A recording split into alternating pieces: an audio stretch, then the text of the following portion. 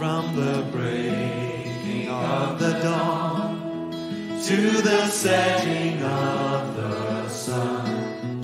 I will stand on every promise of your word. Very good morning to you and welcome to this service on the 22nd of May. Uh, we're deep into the Easter season. In fact, it's, it's almost coming to an end. And uh, so I thought I'd just let you know that uh, on the 26th of May, in other words, on uh, this coming Thursday, it's Ascension Day. And so we celebrate the Ascension as Christians. It's an important calendar event for us. And so at 10 o'clock in the morning, we'll be having a service in the church. Uh, unfortunately, we can't broadcast one on that day, but uh, do feel free to come along to church 10 a.m. for the Ascension Day celebration.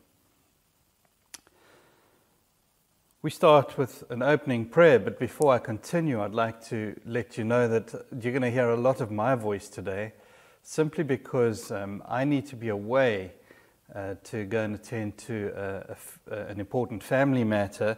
And so this is an early pre recording uh, because I'm only going to get back well, I won't be back in time to, to gather the troops, so to speak. But I do hope that you can enjoy this service with me. Let us pray. Lord Jesus, you promise to make all things new. As we celebrate your broader vision of a new Jerusalem, the holy city, help us to embrace how high, wide, and deep your love for us is. Bless our worship this morning so that you will go, we will go into the world and our circles of influence and truly make a difference. In your name and to your glory we pray. Amen. Bless the Lord,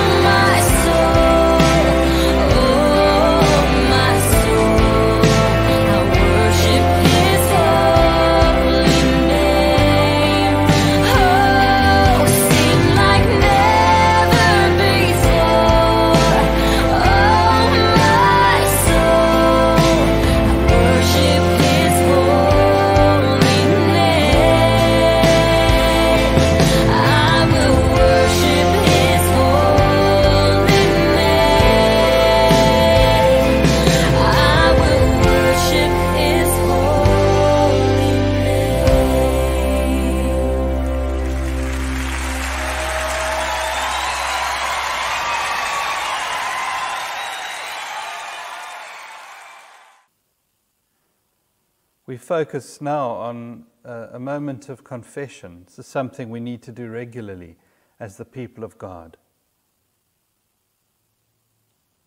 Holy God, you delighted in creating us and declared us good. Yet we have turned from your goodness and sought after our own will. Lord, have mercy. Holy Jesus, in your love for the world, you came to earth, died on the cross, and rose to life again. You won us victory over death and darkness. Yet time and again we fall back into sin and make a mockery of your saving grace. Christ, have mercy. Holy Spirit, you sanctify the church and empower us to be bold witnesses of Christ in the world. Yet time and again we fail to bring about change, to care for your world and for creation. Lord, have mercy. And so we take a moment of quiet to reflect on our sins and to bring them before our Lord.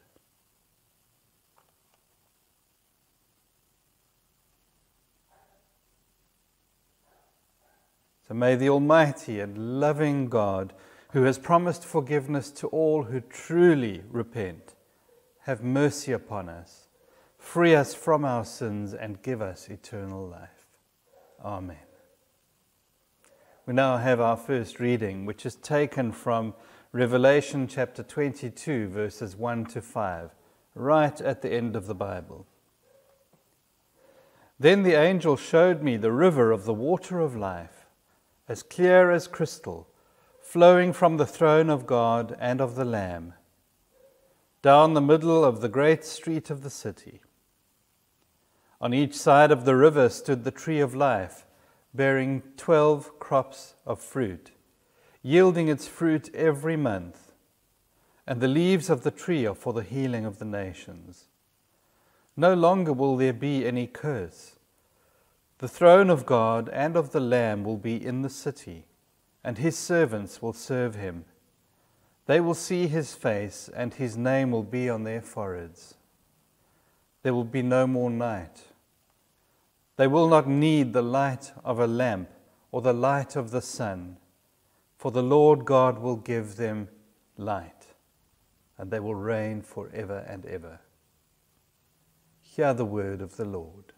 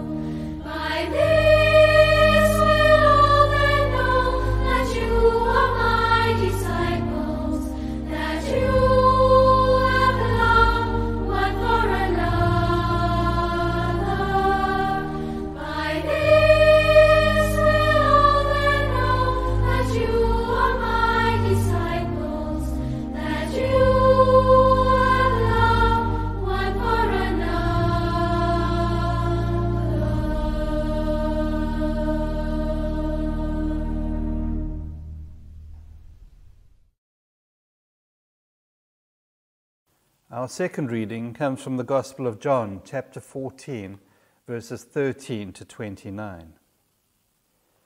Jesus replied, Anyone who loves me will obey my teaching. My Father will love them, and we will come to them and make our home with them. Anyone who does not love me will not obey my teaching. These words you hear are not my own, they belong to the Father who sent me. All this I have spoken while still with you. But the Advocate, the Holy Spirit, whom the Father will send in my name, will teach you all things and will remind you of everything I have said to you. Peace I leave with you, my peace I give you. I do not give to you as the world gives. Do not let your hearts be troubled, and do not be afraid. You heard me say, I am going away and I'm coming back to you. If you loved me, you would be glad that I'm going to the Father, for the Father is greater than I. I have told you now before it happens, so that when it does happen, you will believe. Hear the word of the Lord. Thanks be to God. I remember when I was at primary school, our history teacher asked us, What does heaven look like? And we all came up with pious visions. They all involved angels and all sorts of things, playing harps and the like. But one chap sort of nailed it for me. He said, Unlimited condensed milk. So I ask you, what does heaven look like? John's vision the revelation that occupies the very last pages of our Bibles has many interpreters. And I want to stress from the outset that this is a vision and not necessarily a literal image. We make a huge mistake when we get too literal because, firstly, we forget the meaning then of what is being said and we start focusing on things that are just on the surface. God is revealing important truths about his nature and his intention for salvation through this vision that he gave to John. Who knows? There may yet be space for condensed milk in heaven. We know that while there'll be trials and tribulations and great affliction, afflictions at the close of the age, that God will win over them and Christ will reign triumphant. This is one of the principles of the vision, and not so much uh, one of the literal interpretations. But that's there. Another one is we know that sin and death will be no more, and that Christ's glory will light up the universe, and his love will light up every heart. It says there in Revelation 22 there'll be no need for a lamp, because God himself will give us the light.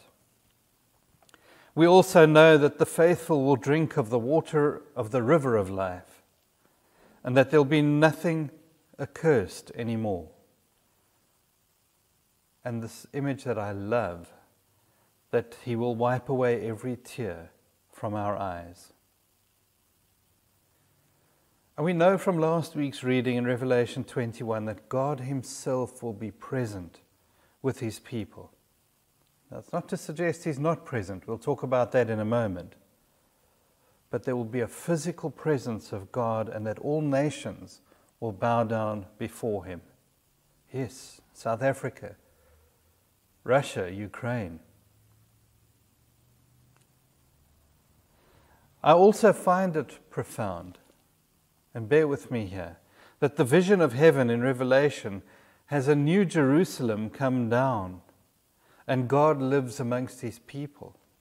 It's not a place in the sky that we go to, but it is God's reign established right here on earth.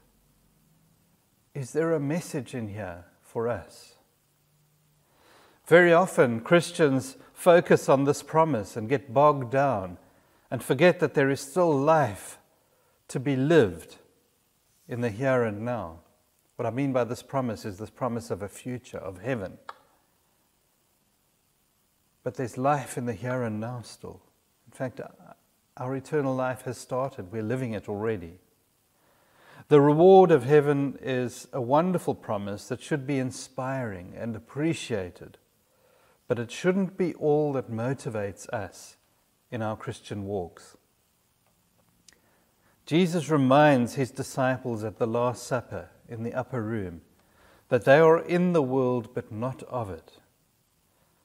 They're different in some way. And though he seems to speak in code because he's very good at uh, coming at us with all sorts of conundrums, he is stressing something that is very, very important. Disciples, including us, are different from the majority of the people around us.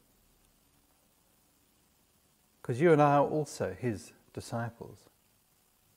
And we're also called to be not of this world, but in it. So let's unpack this just a little bit. John 14 comes just after, wait for it, John 13. Yes, it's obvious. But I'm saying this to emphasize that we can't take snippets of Scripture and just focus on them. There's a unity in what is presented to us. John 13 to John 17 are part of a section, really, and they all describe a single event, really Jesus' last hours in the upper room with his disciples. We take, tend to take them in chunks and break them up. But there's a broader picture what, to what Jesus is doing here. Now, in John 13, Jesus washes his disciples' feet and he predicts that he'll be betrayed and denied. These are the things that we draw from, from John 13. And then he talks about how he is the way, the truth, and the life. He is the path to God. He is the truth and He is the way to eternal life. And only after this do we get to today's reading. So today's reading takes place in the context of those things that have gone before. From these passages, we find a few ways in which Jesus' disciples are different from the world. And so he's laid the ground and he's trying to tell them, you actually aren't of this world, you're in it. You're different. But he's already started to tell them how they are different. And he's speaking to you and I as well. How are we different? Well, the first thing we can draw from that is that they're called to serve others. Yes, the foot washing highlights this. Where the master, in fact, the Lord of all, washes the feet of his disciples an act of absolute servitude. In fact, a slave would do that. There's an implied humility here as well, that his disciples are being called to be humble before the world and before God. The world is a self serving place. It's dog eat dog out there. In fact, the news has just broken that something like $200 billion uh, has been lost to the cryptocurrency market. It's people looking after themselves, buying, selling, and the like, wheeling and dealing. But we're called to be servants. We're called to serve one another and our communities. It's written in the 23rd verse Jesus has promised to us that if we love him, and show that our love for him is real by keeping his word that both he and the Father will come to us and live in us, that they will make their home in us. And that's the second way in which we're different. So we're called to be servants, but we have God living in us. God will not only dwell in our temples, our churches, uh, Christ will not only be present where two or three are gathered in his name, but God will dwell within us. Christ will mo- make his home in us. And in fact, this links very closely with the third way in which we're different. And that is that, as in today's gospel reading, Jesus gives us the advocate, the Holy Spirit. That word is very interesting. Uh, parakletos is the word in Greek, and it can be translated as advocate, it can be translated as helper. So Jesus sends us the helper or the advocate. What does an advocate do for you? He pleads your case before a judge. The helper is somebody who, who walks you through something that is tricky, and life can be so immensely tricky. Let's face it. But the advocate, the Holy Spirit, whom the Father will send in my name, will teach you everything, Jesus promises, and will remind you of all that I have said to you. So, yes, sometimes I'm battling with something and a word just comes to me from Scripture. It is a reminder of what Jesus has taught, and that is the Holy Spirit working in my life and teaching me and reminding me of what Jesus has taught. The Spirit convicts us as well, leads us and teaches us. And, you know, when Jesus was preparing for his eventual departure, he promises this to his bewildered and scared disciples.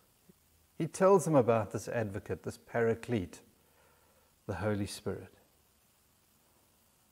And he tells these very frightened disciples that they'll be fine, all will be well. He will be with them in spirit. And of course, in a few weeks' time, we will celebrate the occasion when the Spirit comes in power. So I don't want to spoil any of the topics for that day. But perhaps today is just a little bit of a ramble, a reminder that as we reflect on heaven and the wonderful promises of God, let's remember that it is here that He chooses to establish His kingdom. Remember, the New Jerusalem comes down from heaven to this world. God comes and lives among the people. We are called to make it a reality as His disciples, at least in part in the here and now. We may not be of this world, but we are in it for a reason, called to establish heaven here on earth. And we start this by serving others, by inviting Jesus to live in us, and by following the lead of his advocate, of the Holy Spirit, who is God with us. Let these words encourage you. Amen.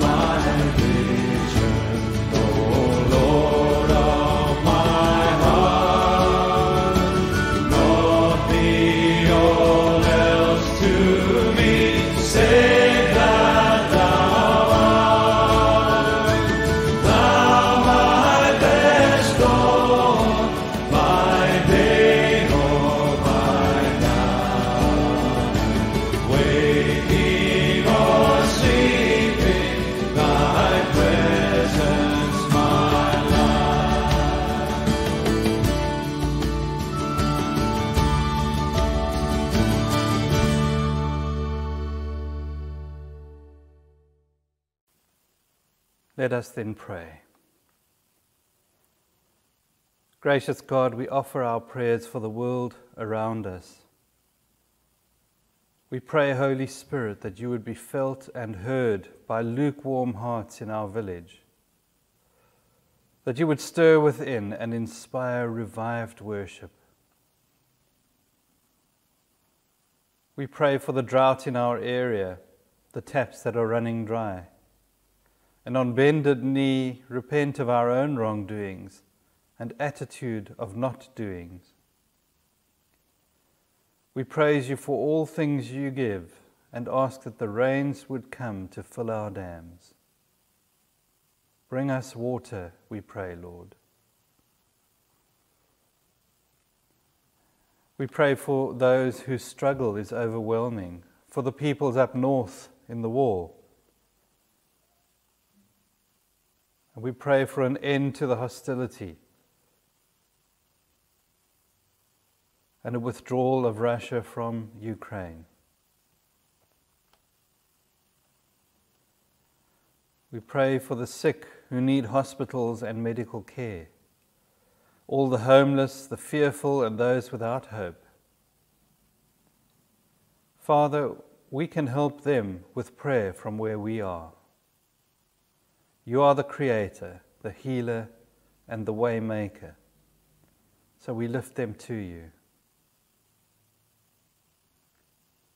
And we pray for all who suffer this day, whether physically, emotionally, or spiritually. May your presence surround and sustain each one so that they may know your love.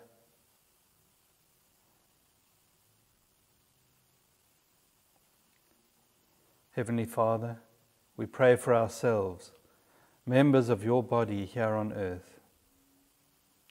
Help us to see your presence burning in the hearts of others, and grant that we may be united in a fellowship of love and prayer. Break down the barriers that divide us from one another. Unite us in our common allegiance to you as Lord and Saviour. And may we be clothed with compassion and humility as individuals and in our relationships. And we pray, Lord, that you would open our hearts, that we would invite you in, that we would accept your advocate, that you, we would accept the Holy Spirit as our teacher and guide, and that we would heed the call to serve our communities and serve one another.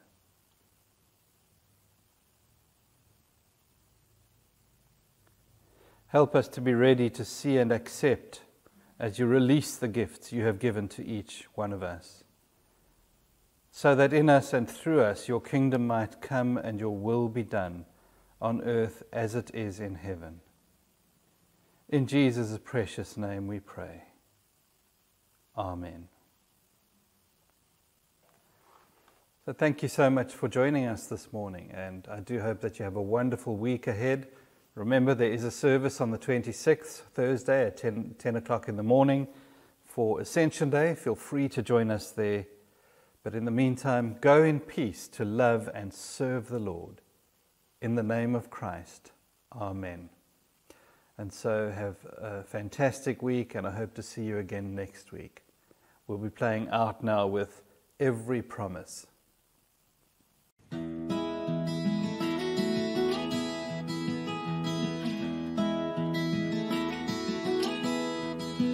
the breaking of the dawn to the setting of the sun, I will stand on every promise of your word. Words of power strong to say that will never pass away. I will stand on every promise of For your covenant is sure, and on this I am secure. I can stand on every promise of your word.